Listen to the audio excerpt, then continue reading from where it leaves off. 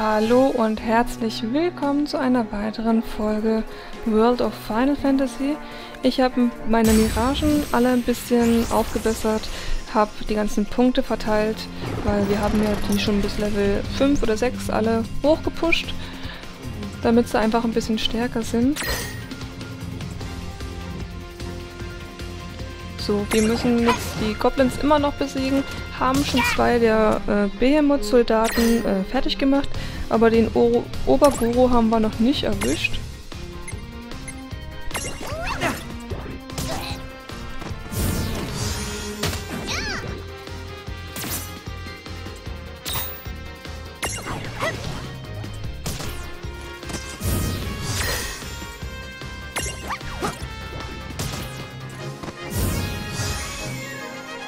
Right.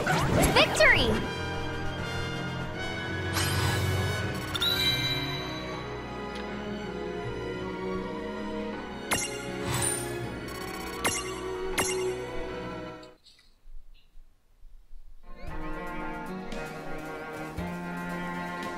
Da drüben haben, sch- haben wir den Soldaten überhaupt angesprochen. Thanks for the help just now. You two are going up against the enemy commander. Is that right? Take this. It'll come in handy. Ein Ether erhalten. Dankeschön. Na Gott sei Dank bin ich nochmal zurückgelaufen.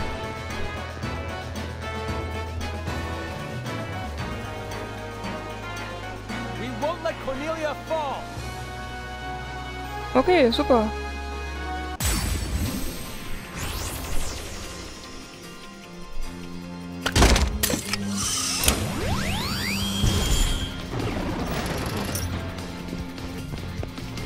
Das macht er mit Absicht, oder? Ich möchte unbedingt den Babymod haben.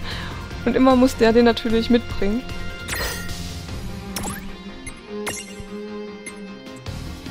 Wir können eine neue Attacke rot sein. Okay! Wir machen aber unsere altbewährte ähm, Methode. Und ich habe... Ähm, Tama hat jetzt Vita gelernt.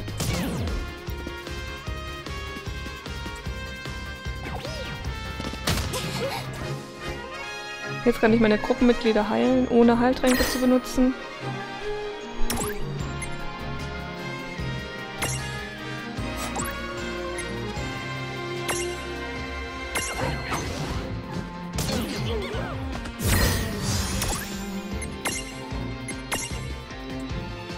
Das werden wir auch mal ganz kurz machen. Abracadabra.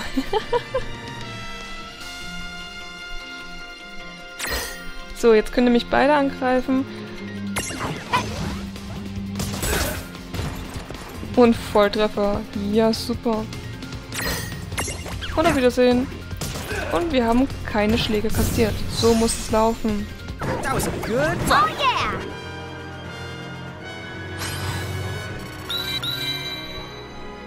Ja, ein paar Leute wurden aufgestuft, wir haben ein bisschen Geld erhalten, weiter geht's.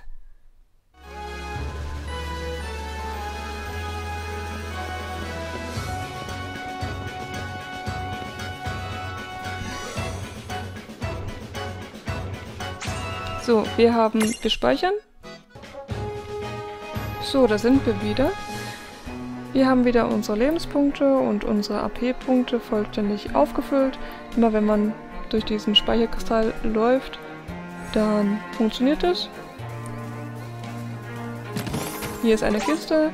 Drei Heiltränke haben wir bekommen. Hier hinten ist nichts mehr.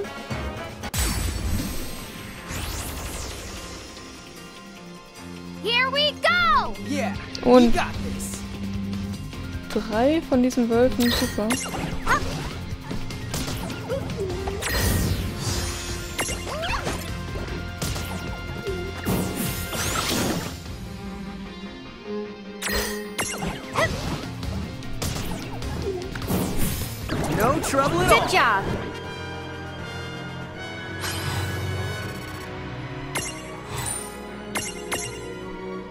Augentropfen haben wir von denen bekommen.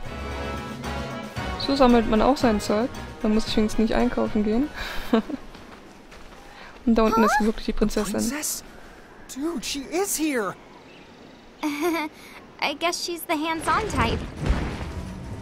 Oh oh. Your Highness! Behind you! Huh? Look out! Are you all Das right? war knapp. Highness. Yes, thank you. Oh, schmuck. We gotta find a way down there now. We can go around. If we're fast enough, we... No, there's no time. Princess! No!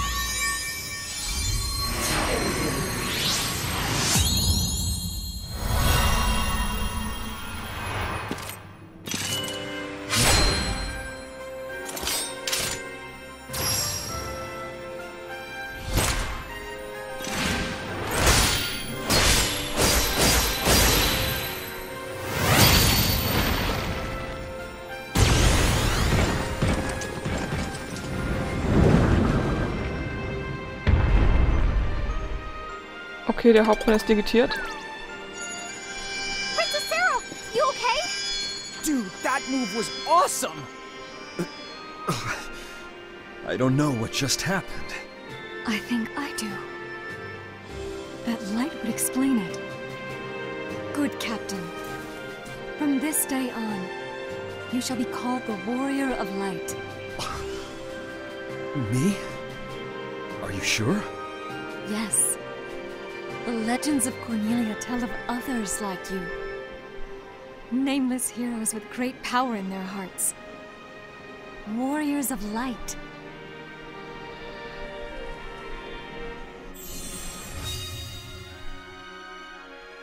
You're a medium. One with the potential to become this realm's champion. Wait, a medium?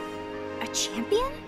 Champions arise at critical points in time where they awaken unexpectedly to their miraculous power.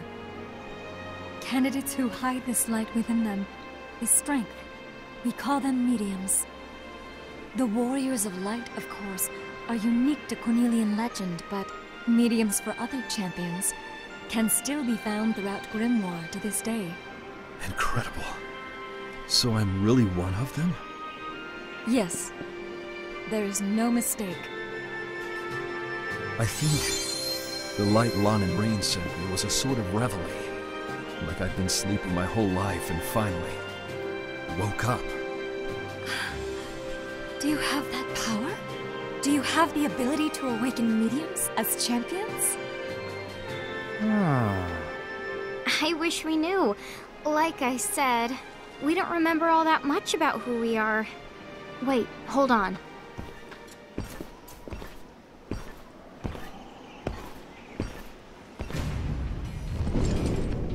Oh nein.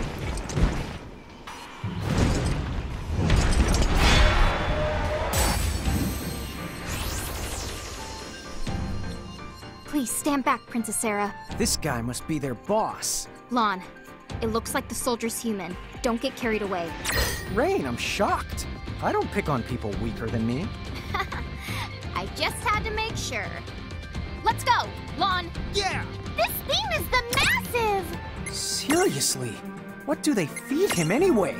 Uh, maybe we could stew over that some other time. What do you think? Mist, dieser Typ ist resistent gegen Hypnose.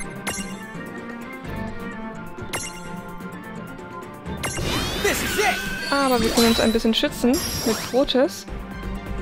Das bewirkt, dass wenn wir physisch angegriffen würden, das nicht so viel Schaden verursacht. Oh nein, unser Stapel hat sich aufgelöst. Super. Wir sind betäubt. Ganz klasse. Was machen wir jetzt? Helfen kann ich Rain im Moment nicht.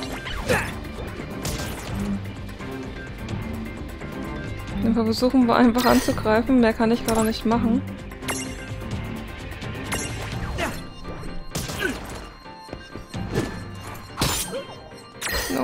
Shadow. Wir müssen unbedingt den Stapel wieder bilden, genau.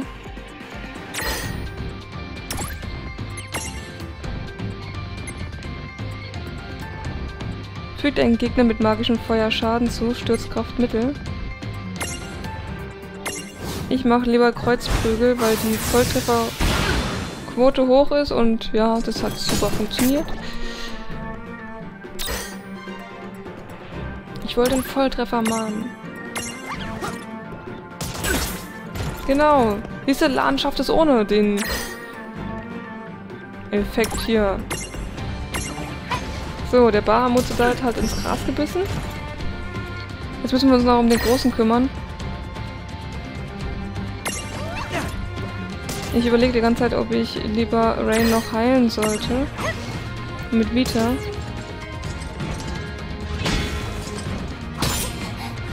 Und langsam sollte ich das, wirklich machen. So, erstmal heilen. Wir wollen kein Risiko eingehen. Natürlich verfehle ich, war ja klar. Jetzt, wo man es gerade mal braucht.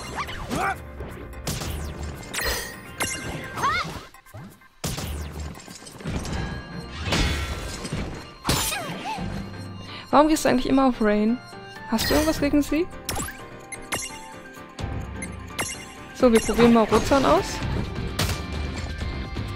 War jetzt nicht so spektakulär.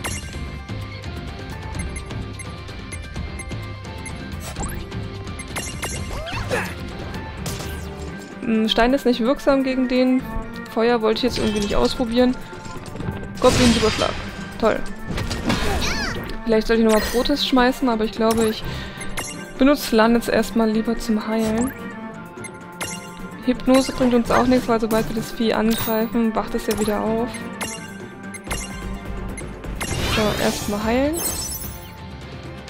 Und dann angreifen. Einfach drauf.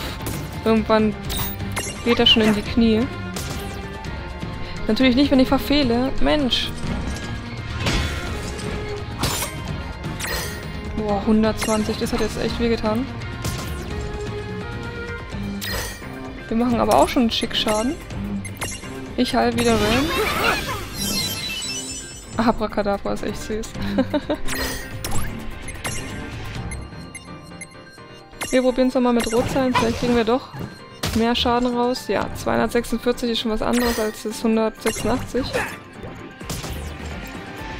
Wobei Lan echt guten Schaden macht. Auch ohne Special-Attacken hier.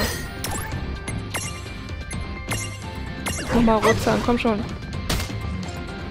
Ja, läuft doch. Und jetzt nochmal Dulan. Perfekt. Super. Wenigstens einen Volltreffer. Gut Well, gemacht, Rain.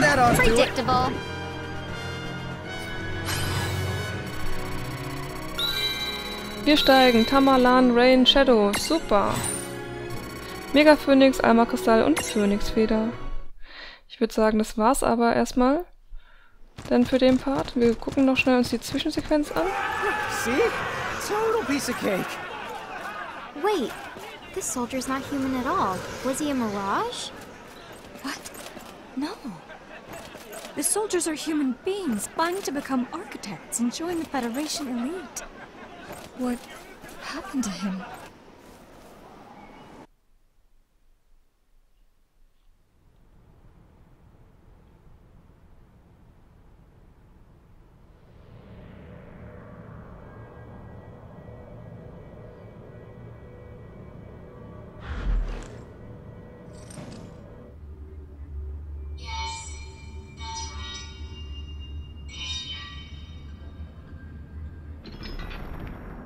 How many years have passed?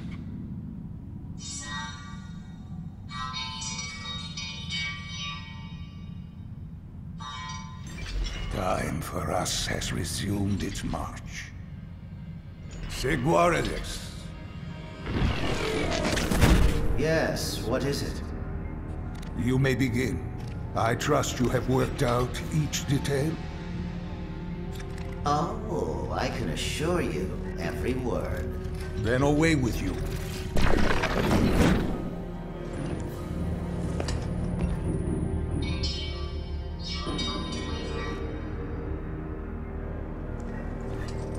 We have a prophecy to fulfill.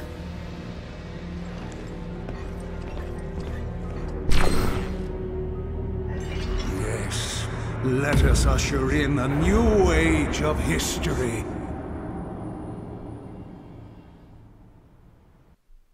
Okay. Das war's aber für das Erste.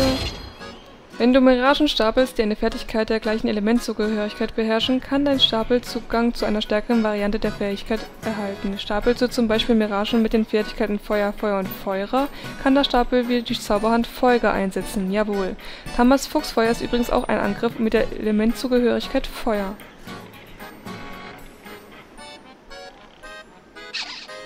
Wenn du Miragen stapelst, die physische Angriffe beherrschen, können sich deine Miragen zu einem mächtigen Angriff wie zum Beispiel Kreuzprügel zusammenschließen. Jawohl. Es gibt viele verschiedene Kombinationen, also probiere einfach ein wenig herum und lass dich überraschen. Einige Miragen in L-Größe können einzigartige Fertigkeiten einsetzen. Rain ist keine Mira Mirage, aber das Prinzip ist das gleiche. Nur in L-Größe kann sie die Fertigkeit Element Synergie einsetzen. Ich will auch eine einzigartige Fähigkeit lernen. Jawohl. Tut mir leid, Hammer, aber du bist nicht groß genug.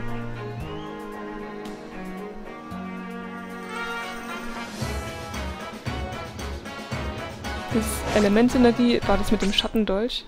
Wir speichern Now would be a good time to stock up on items. Good call. We've racked up a ton of gil now that you mention it.